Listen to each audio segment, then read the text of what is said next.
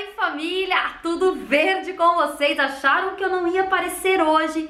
Acharam errado, né? Aos 45 do segundo tempo estou aqui para atualizar vocês, tem muita coisa pra gente falar. Belezinha? Então não vai embora desse vídeo, hein? Gente, antes das notícias do Verdão, eu tenho uma dica muito interessante pra você que quer ganhar uma graninha extra sem sair de casa com um computador ou um celular conectado apenas na internet. Então eu vou te apresentar aqui a Binomo. Tá zoando que você não conhece a Binomo ainda. Pera aí, não vai embora que eu vou te explicar tudinho. Gente, a Binomo é uma plataforma de transações para maiores de 18 anos, onde através da análise do gráfico você verá se ele tende a subir ou a descer. Mas olha, lembrando sempre que também existe aquele risco de perda de capital. A Binomo é um aplicativo simples para realizar transações e o saque é feito em apenas 24 horas na sua conta bancária ou numa carteira digital. E para mostrar para você como funciona de verdade, eu vou fazer uma transação aqui na minha conta real. Então vem comigo? Gente, eu já estou conectado aqui, vou escolher um valor, beleza? Vou começar com 4 reais, porque também não dá para começar com muito, né?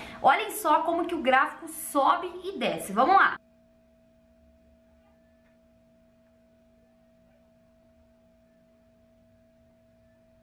Muito bem, gente! Aqui, ó, tive um valor de 7, um lucro de 7 reais. Tá vendo como funciona? E a Binomo, pensando em você, disponibilizou no link que está aqui na descrição uma conta demo com 4 mil reais pra você treinar e se sentir confiante. E aí, a hora que você tiver ok, gente, aí sim, é só ir pra sua conta real. E você acha que parou por aí? Lógico que não. Utilizando o cupom que tá aparecendo aqui na tela, o valor do seu primeiro depósito vai dobrar, isso mesmo. Depositando 40, que é o mínimo, esse valor dobra para 80. Depositando 100, dobra para 200 e assim sucessivamente. Então corre e vai lá fazer aquela graninha extra. Eu já sou uma binomista. E você? Bom, então aproveita que você chegou até aqui, deixa aquele like, se inscreva aqui no canal, ativa o sino de notificação também, todas as etapas são importantes.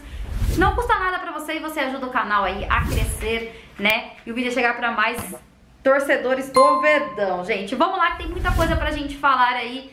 Uh, vou começar falando sobre o Palmeiras, né, que treinou hoje aí, visando já o jogo contra o Atlético Mineiro. Temos dúvidas ainda se o Abel vai poupar jogador, como ele vai fazer, porque vai ser um jogo importante, um jogo que o Palmeiras vencendo o Atlético pode sim conquistar a liderança, mas o Palmeiras está pensando lá na frente uh, no, São Paulo. Eu tenho certeza que o Atlético também está pensando lá no segundo jogo contra o River, apesar de ter feito um, um primeiro, um primeiro jogo é, com 1 a 0 mas é o River, não esquece, viu? Deu trabalho pro Palmeiras aqui na volta no Allianz Parque, muita coisa pode acontecer. Acredito que eles vão poupar, eu acho que o Palmeiras vai poupar alguns jogadores também, gente. Calma que a gente já fala aí né? Se o Palmeiras estarão no mercado, se vem contratações ou não. Ainda sobre isso, sobre jogadores, enfim, é, vocês estão me perguntando muito sobre o Scarpa, porque rolou aí é, muitos comentários que o Scarpa desativou rede social, né? E tá um silêncio total sobre o Scarpa. Como eu moro aqui em Hortolândia, vocês devem achar que eu sei da vida dele todo dia, né? Mas calma, gente, nós não somos vizinhos, né? Não cheguei nesse nível ainda pra morar ali do lado do Scarpa. É, e tem a torcida tá pé da vida. Ô, oh, os cachorros, obrigada. Tava em silêncio até agora, gente. Quase 10 horas da noite eles estão latindo aqui. É, é incrível. É, então, o que eu tava falando, a torcida tá brava com o próprio Abel porque tá dizendo que isso tudo é culpa do Abel, né? Que se o Scarpa sair do Palmeiras é culpa do Abel. Vamos com calma. É, é, lógico que se nós fôssemos usar aqui o termo de meritocracia, o Scarpa era para ter sido titular, então eu não defendo o Abel nisso. Até agora estou sem entender o porquê o Scarpa não jogou e nós não temos resposta porque ninguém perguntou pro Abel por que ele não utilizou o Scarpa. Enfim, Scarpa só não entrou. Eu acredito que sim tenha sido por conta é, dele ter saído, né, balançando a cabeça. É a única coisa que faz sentido. O que para mim é uma besteira, porque eu prefiro o jogador pé da vida por sair reclamando, sair reclamando do que aquele jogador que, né, não tá nem ligando de estar ali sugando o dinheiro do clube, né? Enfim. Uh, Então, gente, a torcida tá brava, revoltada, falando que uh, se o Scarpa realmente sair, porque o Scarpa sumiu das redes sociais, tá um silêncio, a culpa é do Abel. Eu não culpo o Abel tanto é, por conta disso, da, da, deles, sei lá, deles sair ou não, porque já faz um tempo que a gente sabe que o Scarpa ficou frustrado aí de, por conta de uma negociação que não deu certo e hoje ele tá vivendo o seu melhor momento no Palmeiras. Mas ele sempre deixou claro, inclusive eu tenho essa informação com pessoas ligadas ao Scarpa que se aparecesse uma proposta boa lá de fora que ele iria sim. E eu sei que é o sonho de todo jogador, né? Então vamos aguardar para ver as cenas dos próximos capítulos. Será que o Scarpa joga sábado ou será que o Scarpa vai jogar titular na terça-feira? Eu vou atualizando vocês aqui. Se eu souber de mais alguma coisa aqui de Hortolândia, eu vou atualizar vocês. Belezinha? É, o outro assunto do vídeo, gente, é, é, inacreditável, não estou acreditando até agora, e envolve sim o nome do Lucas Lima. Vocês devem ter visto muito aí comentar hoje sobre o Lucas Lima, que está, o que, uns dois meses sem jogar oficialmente pelo Palmeiras, acredito que mais ou menos isso, né, gente? E saiu uma reportagem hoje do nosso palestra, algo né, que me deixou de boca aberta sobre o Lucas Lima, gente. Gente do céu, é inacreditável. É, o Lucas Lima quase jogou, gente, no PSG, isso mesmo, isso mesmo. É, segundo o portal do nosso palestra, o Lucas Lima lá em 2018 teve... É, o PSG chegou a ter prioridade para levar o meia. Lá em 2018, né, quando ele tinha jogado aqui um aninho só no Palmeiras, o PSG do no, do Messi, né? Que acabou de ser contratado. Gente do céu, era pro, Lucas, era pro Lucas Lima estar no PSG. Que coisa, não? Que coisa, enfim, mas não se concretizou e ele está aqui sugando aí o dinheiro do Palmeiras. Se eu não me engano, ele vai ter ainda uh, um prejuízo, se ele ficar até o final do contrato dele, que são mais um ano e quatro meses, um prejuízo para o Palmeiras aí, se eu não me engano, de 16 ou 17 milhões de reais.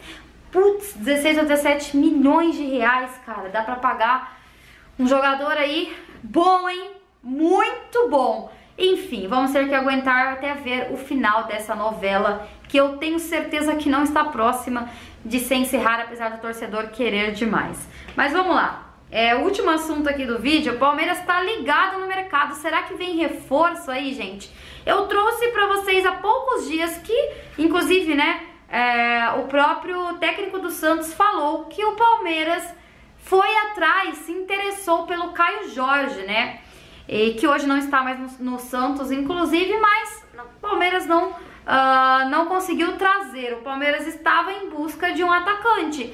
E o Palmeiras está ainda monitorando um outro jogador, tá? Que é o Léo Batistão. Acho que é assim que se pronuncia, enfim. Ele já jogou na China e agora ele tá livre e parece que uh, o próprio Internacional, tá? Ele é um jogador de 28 anos, o próprio Internacional é, está tentando a contratação dele também, segundo a rádio, a rádio Bandeirantes, tá? Ele já passou por vários clubes, inclusive pelo Atlético de Madrid, uh, Real Betis, vários e vários clubes aí ele já jogou e é um atacante de 28 anos, tá? Que ele, como eu falei, ele conseguiu a liberação aí do clube da China e tá livre no mercado e o Palmeiras está monitorando esse jogador. Não posso falar muito dele porque eu sinceramente não conheço. É, eu só acho interessante é porque se o Palmeiras está tão na busca assim de um, né, de um atacante ali, será que realmente o Luiz Adriano não fica?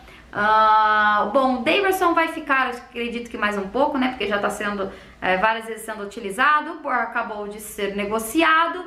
Será que por conta disso o Palmeiras não bota muita fé no Luiz Adriano? Eu sei que o Palmeiras está tentando a contratação aí é, de um atacante também, e isso é, é importante porque a torcida achou que não viria mais nada, e eu mesmo nem estava esperando os laterais. Então, assim, Palmeiras está on no mercado. Eu quero saber de você que me acompanha o que você acha, né? É, qual a sua opinião se o Palmeiras contratar esse jogador? Como eu falei, não conheço, não, não sei quem é, então não posso falar muito dele. Mas se você acompanha aí é, e conhece o jogador, deixe sua opinião. Será que seria uma boa contratação pro Palmeiras, né? Já que ele tá livre e conseguiu a liberação, provavelmente o Palmeiras vai pagar salário, enfim. Mas tem o Internacional na briga. Será que o Palmeiras vence essa batalha? Será que o Palmeiras traz Enfim, né? Vamos aguardar para ver as cenas dos próximos capítulos. O vídeo era esse, gente, aparecer aqui nos últimos minutos, mais para atualizar vocês sobre o Verdão e tudo que eu falei, eu quero saber a sua opinião. Volta amanhã, volta amanhã com mais informações e sábado pro pós-jogo aí. Tamo junto, família. Um beijo, um abraço, até mais e avante palestra.